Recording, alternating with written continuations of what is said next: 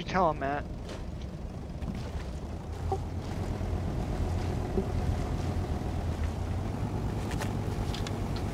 There was another bottle out here.